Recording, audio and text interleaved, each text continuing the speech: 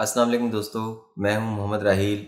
आज हम आपके लिए लाए हैं Ricoh M P three zero one के फ्यूज़र यूनिट की वीडियो के इसको कैसे खोलते हैं हीट रोलर कैसे चेंज करते हैं थर्मिस्टर कैसे चेंज करते हैं और इसकी क्लीनिंग वगैरह कैसे करते हैं।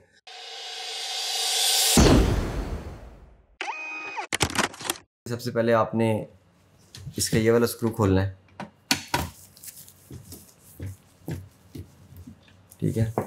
उसके बाद आपने इस साइड पे एक स्क्रू ये लगा हुआ है, इसको भी ओपन करना है।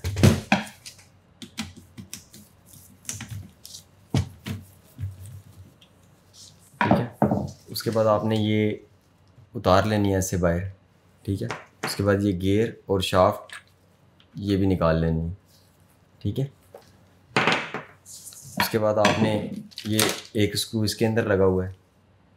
ठीक है? ये ओपन करना है और उसके बाद एक स्क्रू ये इस साइड पे लगा हुआ है।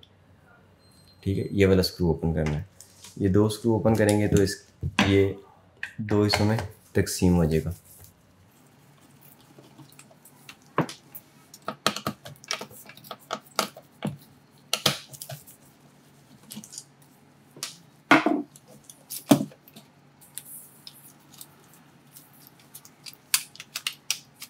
उसके बाद इसकी ये मूवमेंट देखें।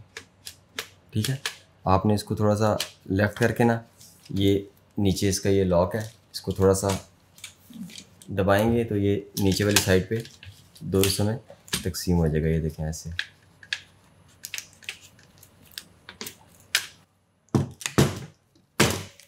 ये आ गया इसका हीट रोलर ठीक है?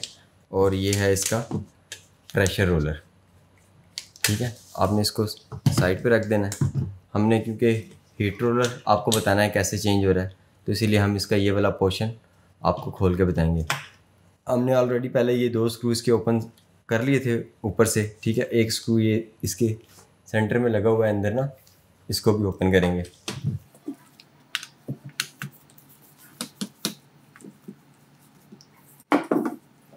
उसके बाद ये ऊपर वाला पोर्शन जो है ना, इसका ये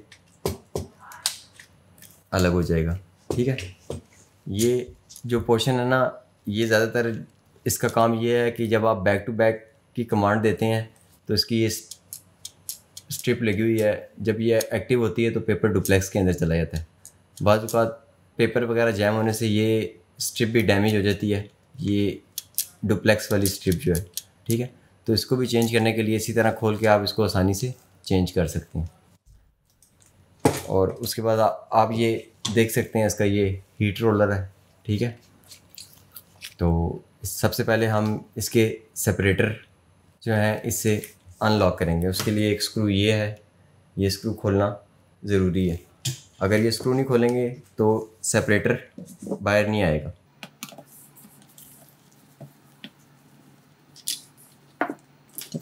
उसके बाद इसके ये सेपरेटर हैं इस सेपरेटर के लॉक आप देख सकते हैं ये।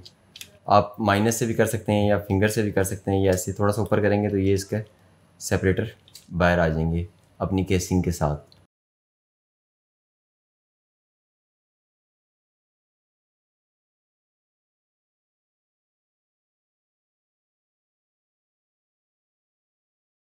सेपरेटर उतारने के बाद आप जो इसके लैंप्स के स्क्रू हैं, दो, एक इधर अंदर लगा हुआ है और एक ये।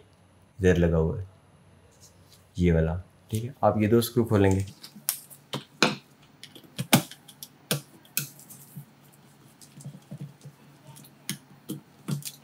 और जब आप लैंप के स्क्रू खोलेंगे तो आप देखेंगे इसके स्क्रू के बीच में ये वाशल भी है तो जब आप इसको दोबारा बंद करेंगे तो आप कोशिश करें कि यही स्क्रू वापस इधर लगाएँ।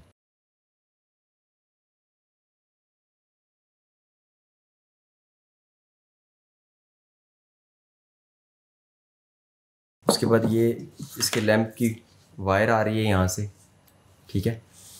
अब आप ये देखें, हमने लैंप्स के स्क्रू खोल के इसको आसानी से निकाल लेंगे बाहर, ठीक है? ये इसका हीट रोलर है और ये इसका लैंप है। ये सारा काम आपने एहतियात से करना है कि लैंप डैमेज ना हो। तो उसके बाद हीट रोलर, ये आप इसका देख सकते हैं। इसको चेंज करने के लिए ये आप लॉक्स इधर बने हुए हैं, आप इसको ओपन करेंगे, ठीक है? उसके बाद ये लॉक्स ठीक है? उसके बाद आप इसका ये बैरिंग उतार लेंगे। आप ये बैरिंग भी ऐसे चेक कर लें कि ये जाम वगैरह ना हो। अगर जाम होता है तो आप कोशिश करें कि आप इसको रिप्लेस कर दें। मार्केट में इस साइज़ के बैरिंग्स अवेलेबल हैं। इसी तरह दूसरी साइड पे भी ये इसका लॉक है। ठीक है? ये वाला लॉक उतारेंगे। ठीक है? उसके बाद आप ये गेयर्स उतार लेंगे। ठीक है? उसके बाद ये बैरिंग का भी लॉक है। ठीक है? ये वाला लॉक उतारेंगे। ठीक है? उसके बाद आप ये बैरिंग के साथ ये रिंग लगा हुआ है। ठीक है? अब जब वापस आप बंद करेंगे तो आपने इन चीज़ों का ध्यान करना है कि आप जौन सी चीज़ जहाँ से उतार रहे हैं, आपने वहीं पर वापस लगानी है। अब ये इसका हीट रोलर देख सकते हैं, इसकी कंडीशन ठीक है। सिर्फ़ वीडियो बनाने का मकसद मेरा ये था कि आप लोगों को पता चल जाए कि इसका फ्यूज़र रोलर कैसे खोल के चेंज करते हैं। तो आप ये देख सकते हैं कि ये इसका थर्मिस्टर लगा हुआ है, जो हीट को कंट्रोल करता है और साथ ये थर्मोफ्यूज़ लगा हुआ है। अगर मशीन ओवर ओवर हीट होती है तो ये फ्यूज़ ट्रिप हो जाता है, ठीक है? और जब आप खोलेंगे तो आप ये देखें थर्मिस्टर के ऊपर ये टोनर चिपका हुआ है। तो आपने इस टोनर को लाजमी साफ़ करना है, ठीक है? ये देखें बस हाथ लगाने से ही वो टोनर जो था वो साफ़ हो गया। ये देख रहे हैं आप, इस किस्म का कचरा जो है ना, वो थर्मिस्टर के ऊपर चिपका हुआ होता है और यही जो है ना कचरा ऑलमोस्ट ये टोनर का कचरा ही होता है। यही कचरा हीट रोलर पे लाइन डाल देते हैं। तो चलें, अब आप इसको बंद करते हैं वापस। तो सबसे पहले हम इसका ये बैरिंग लगाएँगे इधर, ठीक है? साथ ये रिंग भी लग चुका है, ये देखें ये, ठीक है? उसके बाद इसका लॉक लगाएँगे।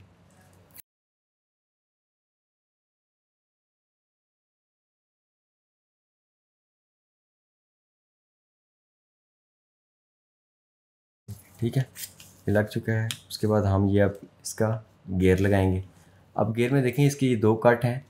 ये कट आपने देख के इसमें बिठाएँगे तो ये आसानी से बैठ जाएगा ऐसे।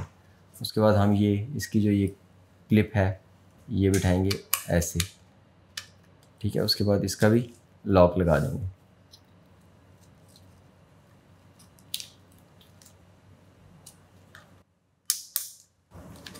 ठीक है? अब इसी तरह यहाँ पर भी हम बैरिंग लगाएँगे दूसरी साइड पे।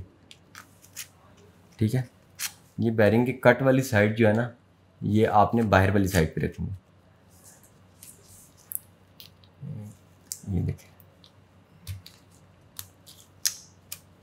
ठीक है? ये और उसके बाद इसको हम वापस इसके अंदर बिठा देंगे। उसके बाद आप ये घुमा के देखें, इसकी मूवमेंट बिल्कुल ठीक है। ठीक है? ये देखें, इसकी कंडीशन ये इस तरह होनी चाहिए, बिल्कुल। ठीक है? उसके बाद हम ये लैंप लगाएँगे अभी इसके अंदर।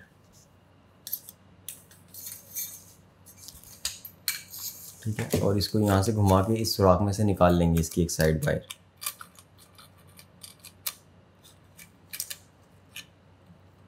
ये साइड इसकी वायर आ चुकी है, आप देख सकते हैं। उसके बाद बहुत ही एहतियात से इसको हम वापस इसमें बिठा देंगे, इसकी केसिंग में। ठीक है? अब आप देख सकते हैं लैम्प की जो है पोजीशन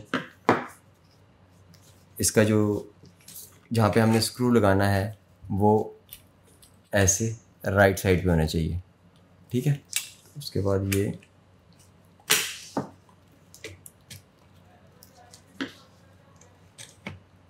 ठीक है? उसके बाद माइनस से इसकी। इस वायर को ऊपर कर लेंगे। ठीक है? और इसको उठा देंगे ऐसे करके।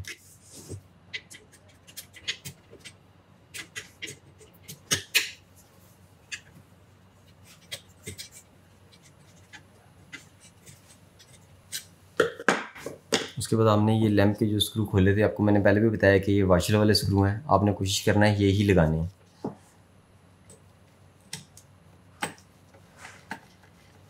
फुल टाइट नहीं करने, क्योंकि दूसरी साइड पे फिर आसानी होगी। स्क्रू जब दूसरी साइड का भी स्क्रू लगा लें तो आप इसको टाइट करेंगे पहले। और जहाँ पे ये टाइट होता है, वहाँ पे छोड़ देना, ज़्यादा फोर्स नहीं लगानी।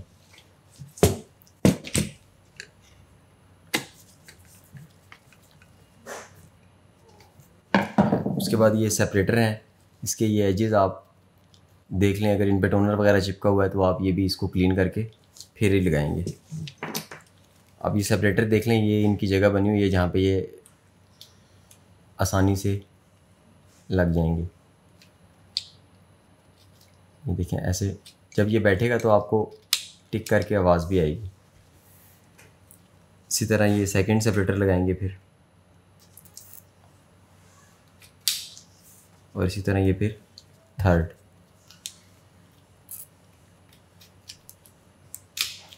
उसके बाद इस सेपरेटर के ऊपर लॉक लगा हुआ था एक, वो हम लगाएँगे। ये, आप देख सकते हैं।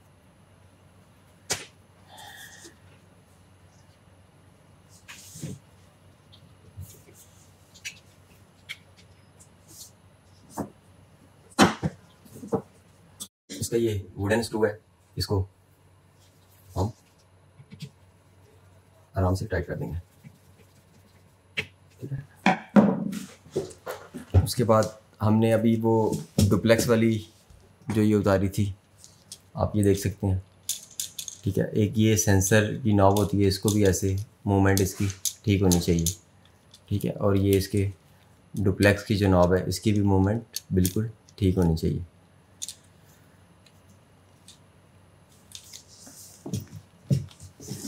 इस पट्टी का एक लॉक ये है, ठीक है, और एक लॉक ये है। ये दोनों लॉक्स जो है ना, इस केसिंग में इनकी जगह बनी हुई है। आप देख सकते हैं। ये इधर, आराम से हम इसको इंसर्ट करके बिठा देंगे। ठीक है? उसके बाद इसको डाउन करेंगे और इधर भी इसका एक स्क्रू लगा होता है। ये वुडन स्क्रू ये इसको लगा के फिक्स कर देंगे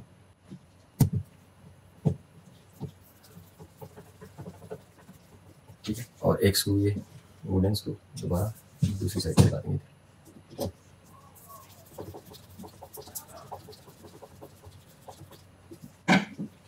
उसके बाद आपने ये देख लेना कि ये नॉब इसके सेंसर में आराम से मूवमेंट इसकी करेक्ट है।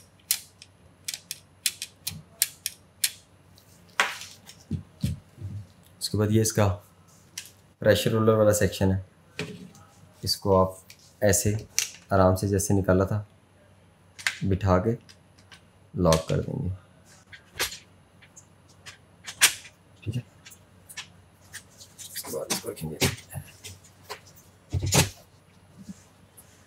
और ये आप इसकी स्क्रू लगा देंगे।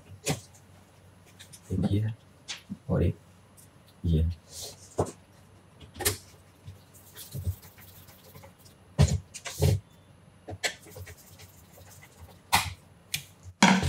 उसके बाद ये वायर्स का आपने काफ़ी ध्यान रखना है कि किसी स्क्रू के नीचे ये दब ना जाए। अगर किसी स्क्रू के नीचे दब गई वायर तो फिर हो सकता है आपका मेन बोर्ड शॉर्ट हो जाए। उसके बाद हम इसके अब गेयर्स लगाएँगे, जो हमने सबसे पहले उतारे थे, वो सबसे एंड में लगाएँगे। सबसे पहले इसकी शॉफ्ट लगाएँगे।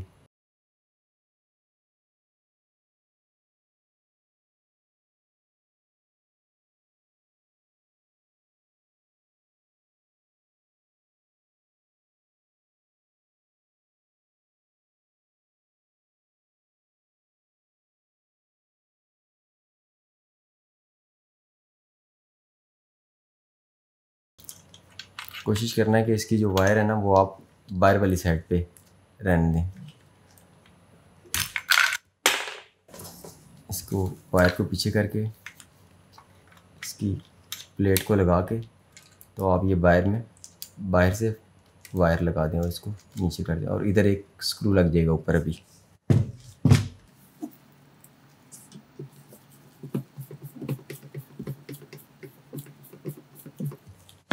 दोस्तों ये आपका फ्यूज़र फ्यूज़र यूनिट दोबारा से बंद हो गया। अब इस गेयर्स को हम घुमा के देख लेंगे, इसकी मूवमेंट बिल्कुल सॉफ्ट है। ठीक है? उम्मीद करता हूँ आपको आज की वीडियो पसंद आई होगी। मुझे दीजिए इजाज़त। अल्लाह हाफिज़।